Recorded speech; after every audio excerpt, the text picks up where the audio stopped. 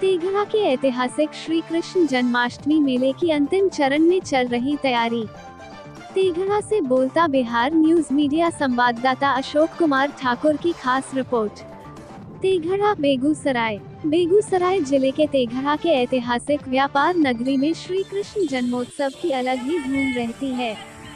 मेले को ऐतिहासिक रूप देने को लेकर तेघड़ा परिक्षेत्र में भव्य तैयारी अंतिम चरण में चल रही है। कुल पंद्रह मेला मंडप के अतिरिक्त बरौनी फ्लैग काली स्थान स्थान एवं सरस्वती नगर बरौनी एक युवा संघ, श्री कृष्ण जन्माष्टमी मेला समिति का मेला मंडप पंडाल निर्माण के लिए पटना, कोलकाता, लखनऊ, चेन्नई, आगरा आदि के पंडाल निर्माता एवं कारीगर दिन रात अंतिम रूप देने में लगे हैं। आलम यह है कि गगनचुंबी पंडालों में बीटिंग के काम के बाद और फिर रंग बिरंगे कपड़े एवं अन्य सजावटी सामानों से सजाने का काम चल रहा है। दूसरी तरफ़ मंसूरजकर कोलकाता, दुर्गापुर, आगरा की मूर्ति कलाकारों द्वारा भगवान श्री कृष्ण की झांकियाँ को तैयार करने का काम तेज़ी से चल रहा है। इन मूर्तिकारों द्वारा भगवान की झांकियाँ को तैयार किया जा रहा है। वहीं लगभग 10 किलोमीटर के मेला परिक्षेत्र में पूरे सड़कों को बाँस, बल्लों एवं लाइटिंग से सजाने की तैयारी चल रही है। मेले के दौरान मनोरंजन के लिए कई ग्राउंड में बड़े और ऊँचे झूले लगाए जा रहे हैं, जिसमें तेघड़ा गौशाला परिसर प्रखंड मुख्यालय परिसर मैदान, कांग्रेस भवन के पीछे स्थित ग्राउंड में झूले लगाए जा रहे हैं। मेले में श्रद्धालुओं के नाश्ते आदि के लिए फुटकर दुकान लगाए जा रहे हैं। बताते चले कि तेघड़ा में उन्नीस 1928 से भगवान श्री कृष्ण का जन्मोत्सव मनाया जाता है। इस मेले में लाखों की संख्या में श्रद्धालु मेला देखने आते हैं। यहाँ आकर्षण का केंद्र आकाशी झूला मौत का कुआँ, जादूगर ड्रैगन ट्रेन मीना बाज़ार आदि सज रहा है।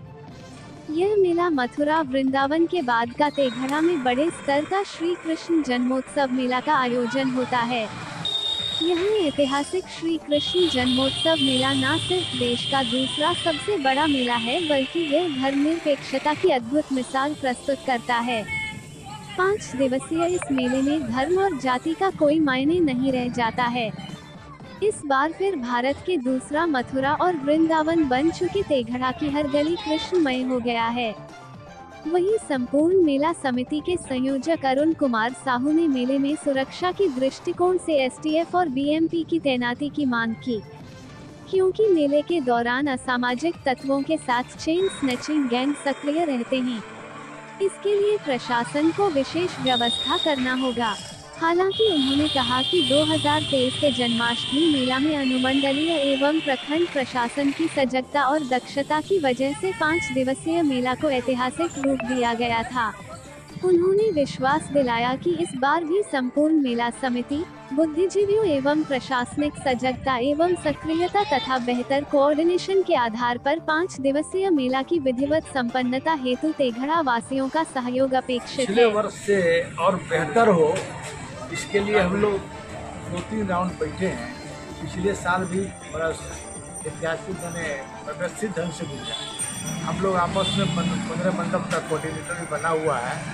प्रशासन भी पूरी तैयारी में है और हर जगह यहाँ के जनप्रतिनिधि, बुद्धिजीवी, मेला चिंतक सारे लोगों के सहयोग से, सारे लोगों की सद्भावना से ये मेला सफल इस बार भी होगा, इतना उम्मीद है। सबको, सत्ताईस अगस्त को अर्धरात्रि भगवान का जन्म होगा। उस दिन जन्म के दिन कुछ जगह, कुछ मंडपों पर जागरण का कार्यक्रम होता है। अट्ठाईस तारीख पर उद्घाटन की बरपड़ा रखती है। दिन के दस बजे, सुबह के एक बजे और अट्ठाईस, उनतीस, तीस, इकतीस, ये मेला अवधि रहेगी। एक नवंबर को विसर्जन का कार्यक्रम आयोजित ये पाँच दिन व्यवस्थित हो।